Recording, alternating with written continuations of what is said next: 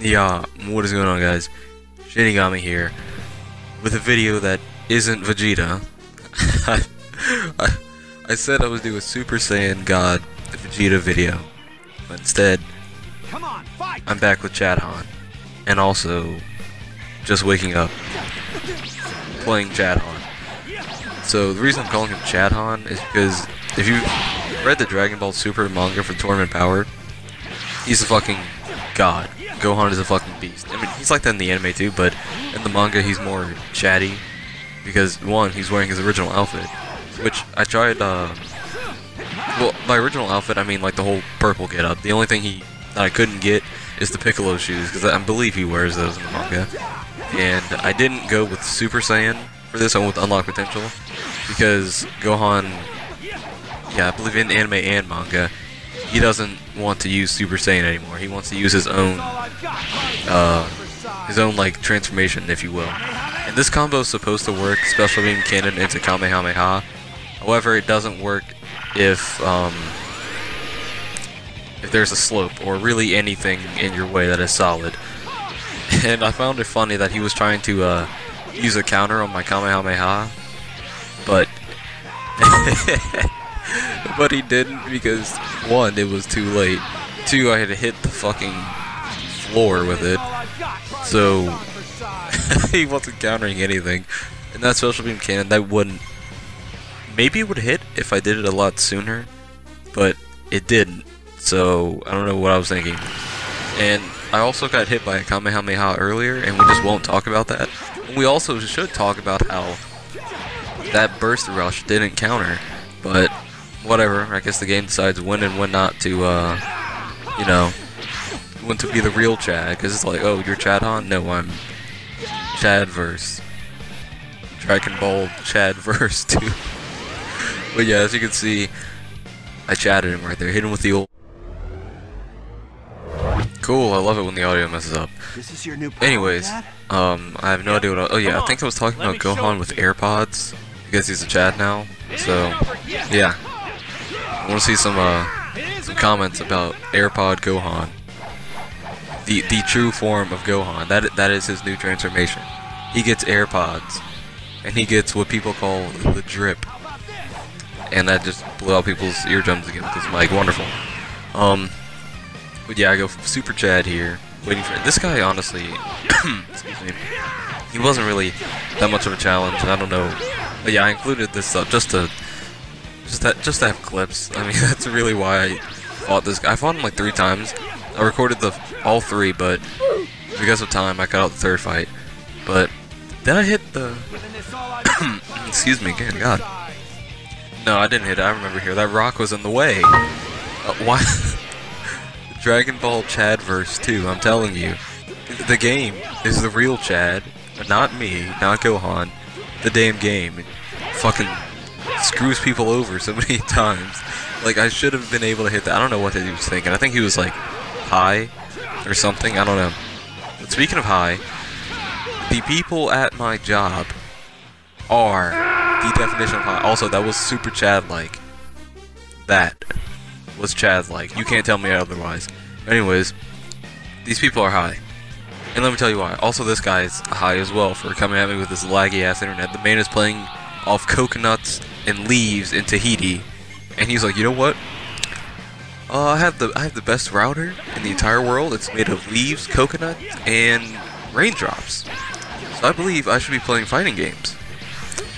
Reasonable, right? No, it's not reasonable. Fuck out of here with that. Let me not get into a tangent on that. Anyways, people at my job are high. Well, and I guess in both ways as well. So, well, first story I should tell. When I was taking my lunch break, these guys who I used to um, work with, they walked by and they saw me. They were like, "Hey, man, how you doing?" They're like, "Hey, guys, how's it going?" They're like, "It's going pretty well." I'm like, "Hey, so uh, I know you guys are off to lunch. Where you going?"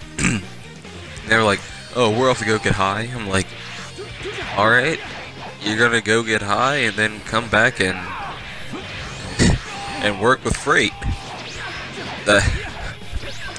All right. There's really nothing I can say to that. You're gonna get high and work with freight. For that whatever. There's nothing to say. But then the second reason people are high So, as I'm recording this, it is September 12th, and a Thursday. Tomorrow is Friday, the 13th. Go figure. So, since I'm an online grocery, people, or we close at 8, alright?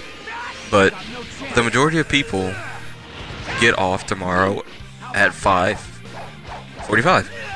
So, me and someone else are the only two people closing tomorrow. Everybody else is getting off at 5. So, somebody please tell me, what sense does it make to have only two people close on a Friday when people get paid? Also, Friday the 13th, where we could get fucked and murdered by Jason. I hope not, Jesus. And yeah, it would be super packed because you know usually a rush or the rush gets here about maybe four, five, and six. Six depends on the day, but considering it's a Friday, um, we're gonna assume the rush is gonna come. So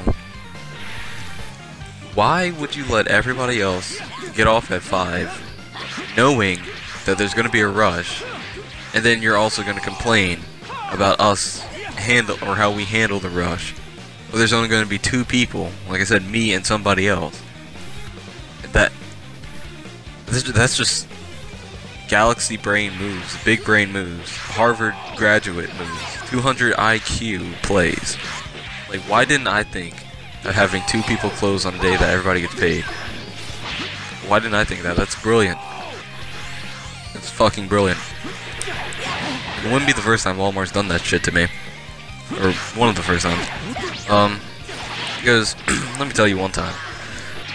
There was this manager, one of the dumbest people I've ever met, okay? So, before I think like one of my first days there, I had basically passed out and went to the hospital because not eating, go figure, and working with freight, also go figure.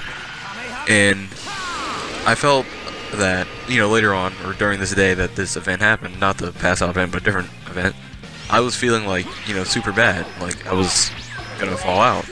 And then this manager, one, I was the only person working out there. That explained it. Two, um, I received like no help, and I told this person that I needed a break because I wasn't feeling good. They just kept telling me to work faster, but I said I'm not. Like this, me telling you I'm not feeling good is me telling you I'm not gonna work faster and I'm taking my break. So other people had to come. This is this happened several times. They've only given me help when people have complained, and because of that, like nowadays we have to have two people out there because of me because they refuse to give me help until someone, a customer, had called. But back to this um, manager, she had pulled me to the side one day when I was going to do something else. She was like, "Is something wrong with you? Do you need vitamins or whatever?" And I'm like, "No, I just need to eat because if I don't eat, this is gonna happen." Which I did eat before, but like you know, working like seven hours without a break that tends to do it to you. So I said, "No, I just need to eat," and she just kept telling me like I needed vitamins. I just kept looking at her like she was fucking retarded. I, instead of stop saying that, Jesus. I kept looking at her like she was fucking stupid. Because she was. Why would you tell me... Oh yeah, she also said I need to condition my body for work. Like, one, you sound fucking stupid. How am I gonna condition my body to not eat? Like, What? Dude, I cannot stress this enough. These Walmart people, they're clowns. Walmart managers are clowns. I've only had, like, three cool managers out of the many. All of them, the rest of them, absolute clowns. Well, maybe four. One guy's pretty cool. The rest of them, absolute clowns. I don't know how they got the job. I really don't. I really don't. Like, this makes no sense. This... maybe the wall... no, I can't say. They're the real chads, but... No. Like... There, there's really nothing to say that. Like, how do you condition your body to not eat? How do you condition? Someone tell me. How you condition your body to not eat? oh my god, but whatever. So, beat this guy. This was the last clip. That's the end of this video. Thank you guys for watching. Me out. Always remember Chadhan. Yeah.